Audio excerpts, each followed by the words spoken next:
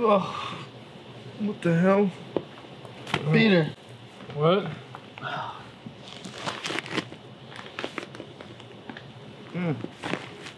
Oh, that's stale.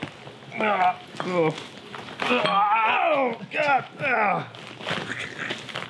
You ready to do this? Uh, oh, we're making a video today? Yeah.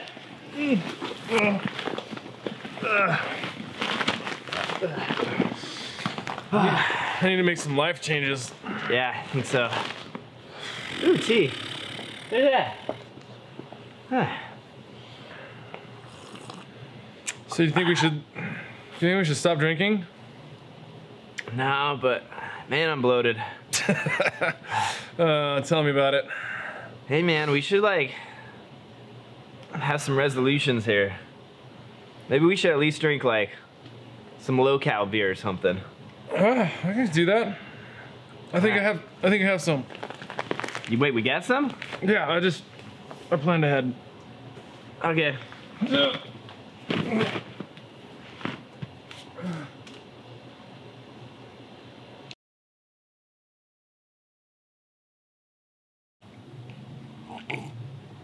What are you doing back there?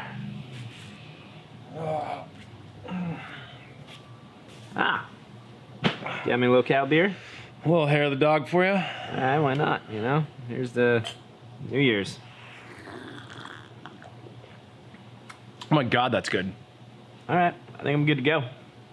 Well, today on Genus Brewing, I think we got to teach you guys how to make a low-cal beer. Yeah. If you're like us and make fake resolutions every year, yeah, that sounds about right.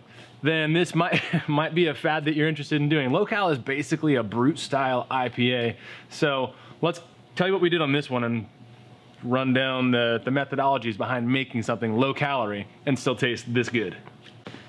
Ah. Yeah. So I want to be completely honest with you and uh, say that I really had nothing to do with this beer. This Except was- for you tasted it. And how's it taste? um, it tastes like um, mango made love with a tangerine and made my babies in my mouth. That's exactly what I was gonna say.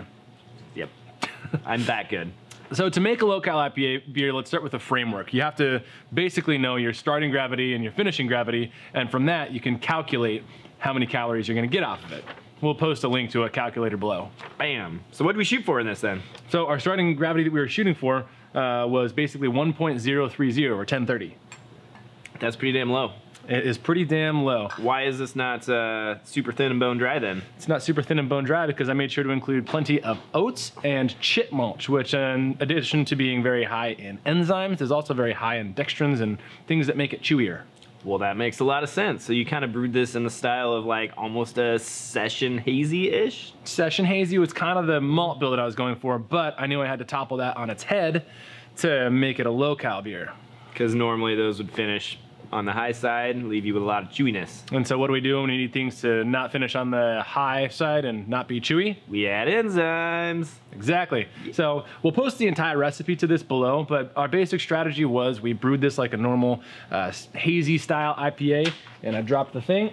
Um, and this one we're actually using Sultana and lemon drop hops. Okay, so some kind of new world odd, oddball ones. Yep, mostly because we had a lot of them. Sounds about right. Uh, and then uh, the yeast that we actually use, and part of what's adding to that tangerininess that I think you're uh, feeling, is kveik.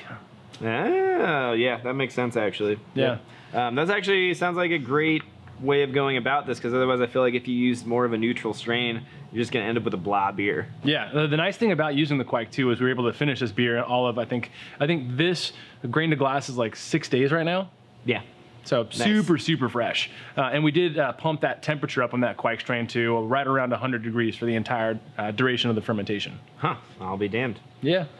Um, so uh, I know you've done some Brut IPAs with me before. Do you want to go over kind of what we do uh, with uh, enzyme adding when we add that enzyme? So typically we've added the enzyme um, late in the fermentation process. Did you guys do anything different with it this time, or? what we did was we ended up uh, waiting until after the fermentation had slowed down, like we always do, Okay. uh, and we made sure we did it when we dry hopped. That way, we only had to open up the vessel once. Makes sense. Uh, we did use a conical, which means we're able to pump CO2 through the bottom of the cone.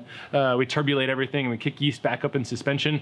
That also keeps the oxygen out of the headspace because we're pumping CO2 through it.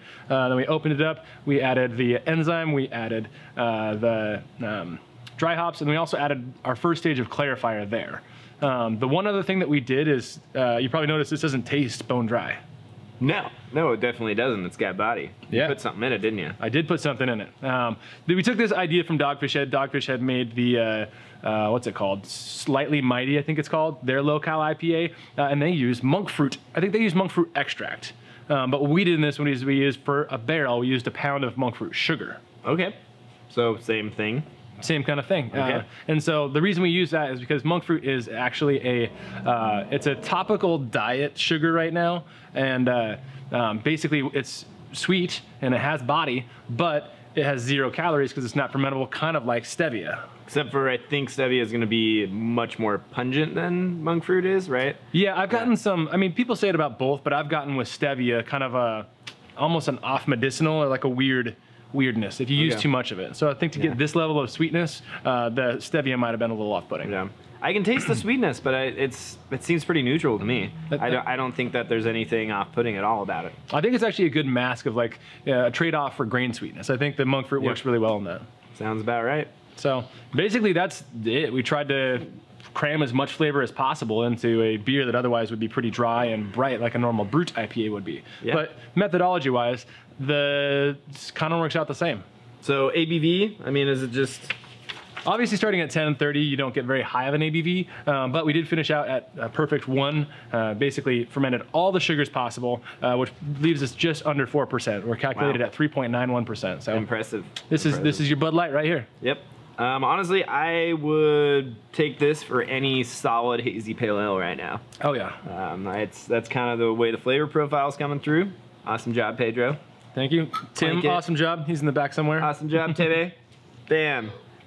So I think it's important that we mention that Brut IPAs are not the only style that can be low-cal. If you're using uh, any sort of diastatic yeast, uh, like sours and saisons, a lot of, a lot of times dry uh, dry out a lot. Basically, just start with a lower original gravity and know that you're not going to get a ton of alcohol, and voila, you have a low-cal beer. Bam.